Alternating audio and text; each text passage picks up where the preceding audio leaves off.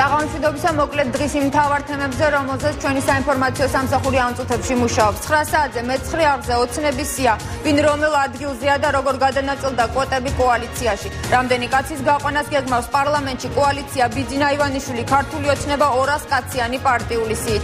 დღის მთავარ გამოშვებაში სიის განსვლელი კანდიდატები და სუსტი რგოლი.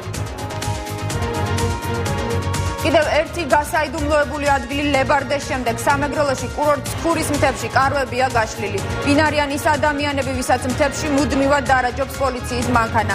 9 საათზე ვიდეო მასალა სამეგრელოდან დაეჭვები, რომელიც გაშლილი ბანაკის გამოჩნდება.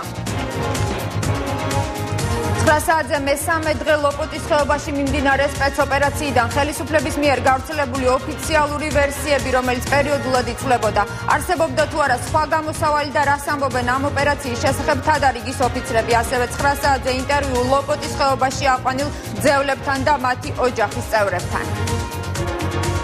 თვითმკვლელობები ქართულ ჯარში ბოლო ორ თვეში გურჯაანიდან გაწეული ორი ჯარისკაცი სიცოცხლეს ოფიციალური ვერსიით თვითმკვლელობით ასრულებს, თუმცა ორივე დაღუპულის ოჯახი ამ ვერსიას გამორიცხავს. რატომ ითხოვდა 18 წლის ახალგაზრდა ტრაგედიამდე რამდენიმე დღით ადრე გორიდან სხვა ნაწილში გადაყვანას? მეცხრე არხთან გარდაცვლილი კობა მახარაშვილის დედა საუბრობს.